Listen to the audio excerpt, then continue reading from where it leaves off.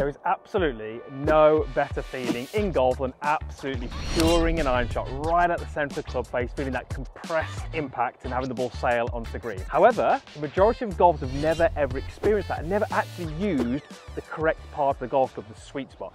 So where is the sweet spot? Well, this is my 8 iron and the centre of this 8 iron is probably around somewhere between the fourth and fifth groove. So one, two, three, four, and I'm gonna put a red dot on that club face. And that provides us with a huge problem and impact. Let me explain. I'm using this board to represent a pretty tight line on the fairway, and you can see that red dot on the club face indicating the centre of the golf club.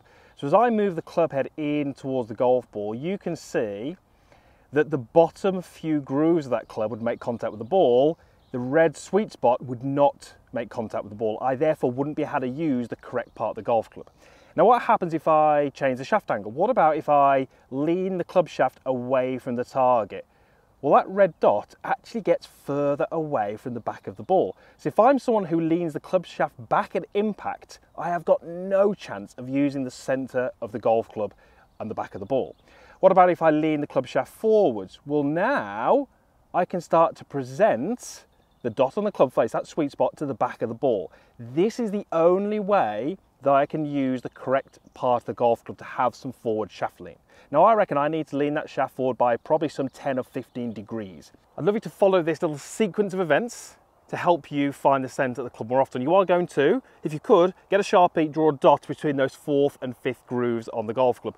Then what you're gonna do is you're gonna just take a setup to the golf ball. I'd say, this is an eight iron. So as I take a setup, it's quite clear for me to see that that dot on the club doesn't line up with the back of the ball. So what I'd love you to do is focus on the dot and move the dot closer to the back of the ball. Don't overthink it and just think about what you would have to do. Now we've already discussed there needs to be some shaft lean in there.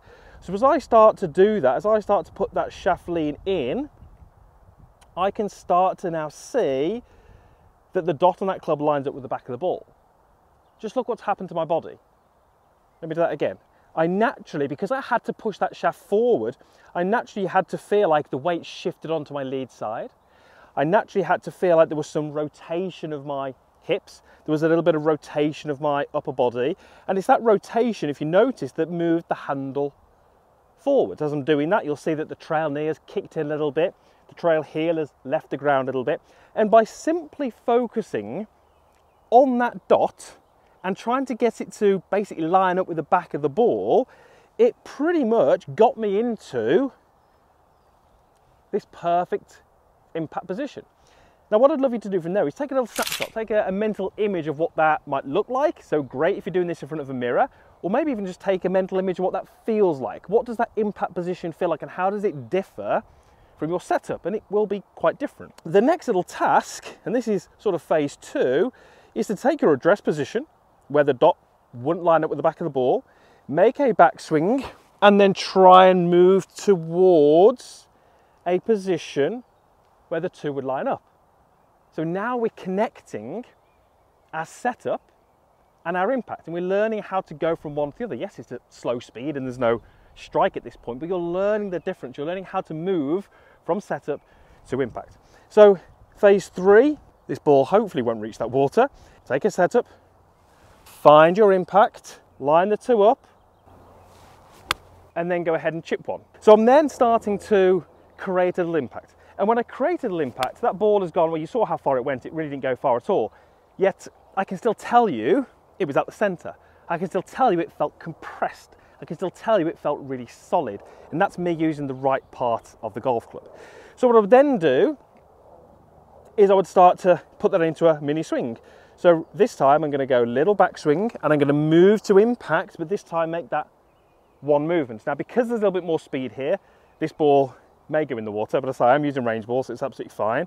So now I'm gonna go, I'm gonna take my starting position and I'm gonna move it into my impact position. And that one is wet. But again, I contacted the ground after the ball, so it tells me my strike was good. I again felt that compressed feeling. I know it was on the right part of the golf club.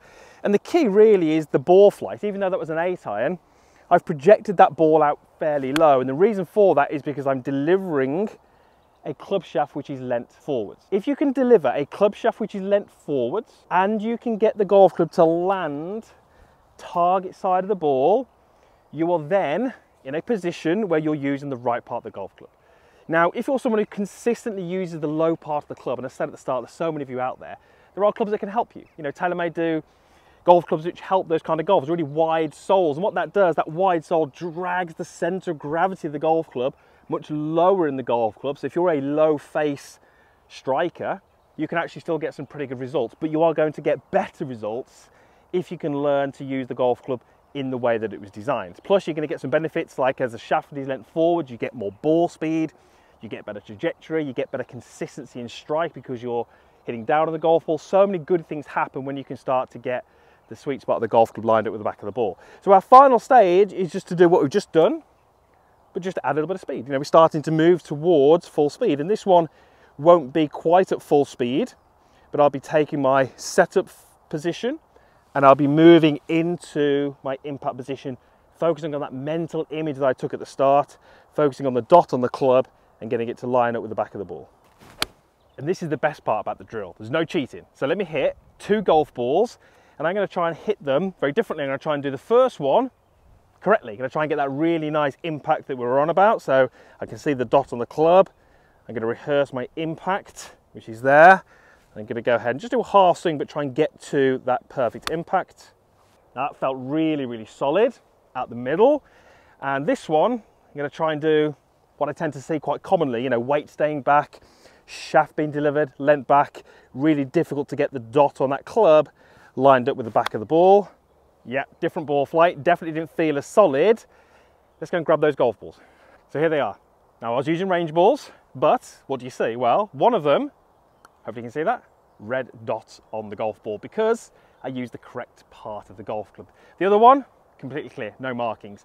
So if you do this and you put that little dot on the club face and hit some shots, if you can go find those golf balls, you're gonna be able to find out exactly which part of the golf club you used. I lined that dot up with that part of the golf ball. It's there, clear to see. As we said, no cheating. That's how you're gonna test yourself. So it's so important to get the most out of your game and out of your iron play that you're using the right part of the club. So many golfers I see have never done that. They've never experienced that sweet spot, that compressed feeling that we search for. And trust me, once you do it once and you've got that feel, you're going to want to do it over and over and over. And that little exercise, that sequence of events will allow you to do that. Let me just take one more to finish. I'm to try and put a little bit more speed in here so I can get all the way back to that flag.